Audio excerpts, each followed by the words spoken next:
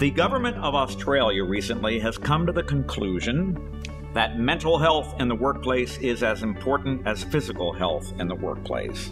We have with us here Pedro Diaz, who is the founder and director of the Mental Health Recovery Institute, here to address all this. Welcome.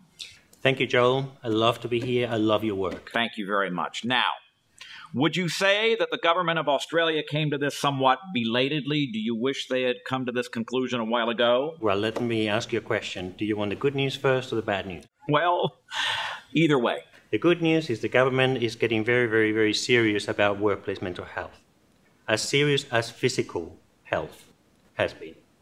The bad news? Are you ready? The government is getting very, very serious about mental health in the workplace. Why is that almost as serious. The bad news is because they're telling us that we're liable now for any problem, psychological injury in the workplace, but they're not telling us what should we do about it. How to do it. It's much easier to remove a quote from the floor than identify a mental health problem when no one is telling you about it. Did you know that most people will not tell you when they're suffering until it's too late? Speaking of suffering when you're a manager, you know, I've actually heard, you'll tell me if this is true, that people don't leave jobs, they leave managers. Absolutely. That's what the research has found. People don't leave jobs, they leave bosses. But the vast majority, they don't get a diagnosis of mental health. They stay begrudgingly in their job. The productivity suffers, that this power of decision making suffers. They will take sickies, we call them in Australia, not sure if you use that term here, but they will take sickies. Those sickies are costing companies $578 on average every single sickie. If it is now the law, are managers trained to even perceive this problem? Well, see, the issue is if somebody um, becomes highly dysfunctional, then everybody notices. It's a little bit too late. But the majority of times, they're not trained. They're not trained in, in management school to identify signs and symptoms of somebody becoming unwell. Even really, really good managers that are really good people, sometimes they miss those cues. So we, we tend to, to, to, to say people are a bigger strength, but then we get rid of them very, very quickly if they, if they don't serve us anymore. So in that kind of environment, it's sometimes very difficult for managers to know what their priorities are and to see the value of having a healthy person working for them. Then this leads me to another question.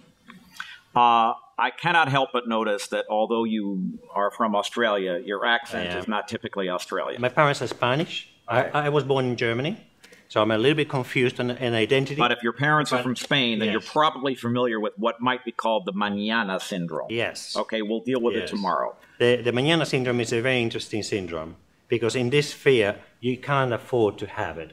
Interestingly, I should be having the Mañana syndrome Right. because I'm Spanish, but I'm the guy saying, don't leave it to Mañana, Right. it has to be done now. But if people need to act now, they need to see the symptoms now. So I want you to give us two or three things that would typically show up in the workplace that would alert a manager, we got a problem here, even though it is not yet acute. All right, so I'm going to put give you a tip in a nutshell. One of the things that you want to look for, look out for, mm. is a change in a person's normal behavior. Don't look for a problem. I don't encourage people to look for problems, but is it something that has happened in the person's life? If it's a woman, if they usually um, don't wear any makeup, if they start wearing very flamboyant makeup, that's a simple one.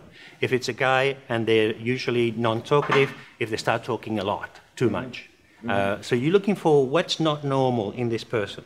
So they should bring you in before things become acute. They should bring you in to make sure that the environment on the mental health side does not become toxic, and they're already worried about that on the physical health side. Clearly, you believe that the cost of not dealing with Absolutely. this is vastly in excess of the cost of getting people like you to come in there and create a better culture. We're, we're looking right now at the billions of dollars in every single Western country because of mental health. This is to businesses.